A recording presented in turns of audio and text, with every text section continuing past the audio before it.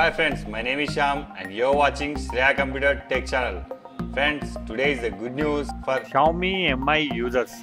Android Oreo 8.1 was released to these users. So friends, if you want to feel the Oreo 8.1 real experience, then you should follow these steps. Before installing this ROM, we need to enable three steps. Enable developer option, unlock bootloader, and the third one, install TWRP. Let us our device boot into TWRP recovery mode by pressing volume up and down and power button simultaneously.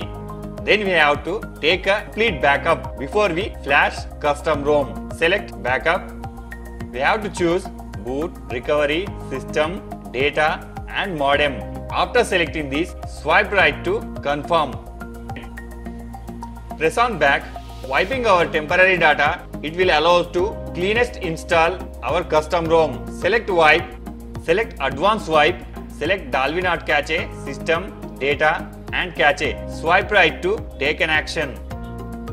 We need to go to here to install stock ROM. By pressing back here you may find install. Select Oreo 8.1. Friends, here I provide a latest version custom ROM and GApps which are suitable to your device. Please find in below description and you may download it. After selecting this Oreo 8.1 ROM, swipe right to install.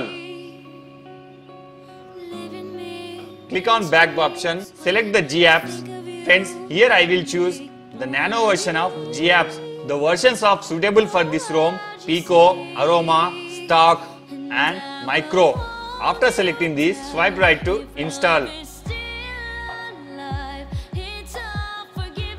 Before we proceed to reboot our system, we need to wipe a temporary data cache. Select the wipe cache and swipe right to wipe data. After finishing all steps, we need to reboot our system. Friends, here will take 2 to 3 minutes to reboot your device successfully and let I will show cool features are given in Oreo 8.1. Press on reboot system.